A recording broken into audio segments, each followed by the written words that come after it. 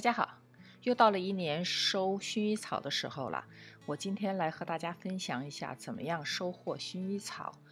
你看我这个薰衣草，去年买的是苗，买回来的时候它的直径大概只有五公分左右，到了秋天的时候直径就已经到了大约三十公分。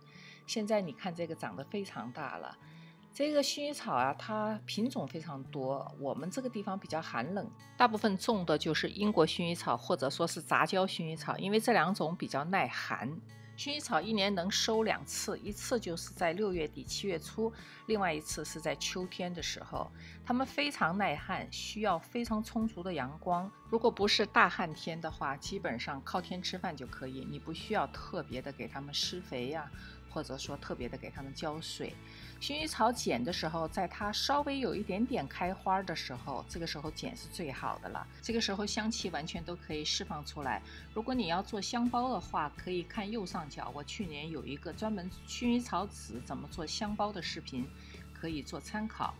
这些薰衣草收下来以后，我真的是越看越喜欢。我去年买回来的四丛，其中有一丛呢是白色的，但是经过一年的生长，你看它现在是一点淡淡的紫色，它香味没有那么浓郁，但是啊看起来也很漂亮，非常有特色的。现在我们来说一下薰衣草大概要剪多长。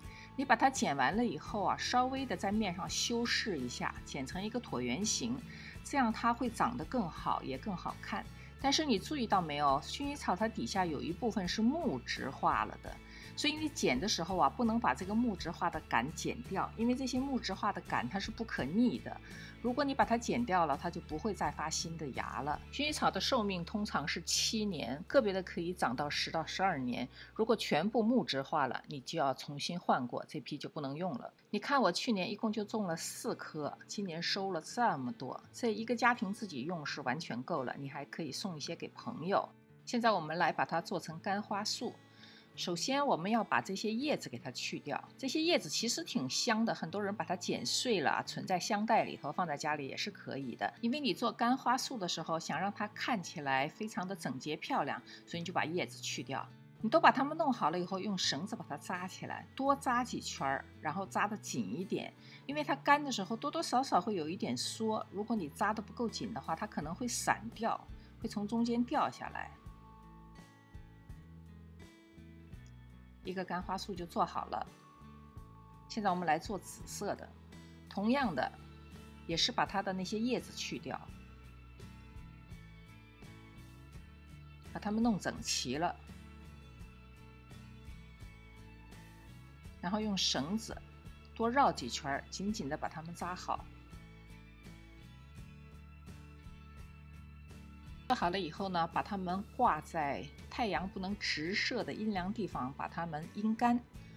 如果太阳直射的话呢，它容易变色，当然也不影响它的香味儿。想要用它晾干的籽儿做成香包的同学，可以点击右上角参考我去年的视频。我相信这里一定很多和我一样爱好花卉的朋友，喜欢我视频的朋友，欢迎点击右下角的院子订阅我的频道。谢谢您的收看。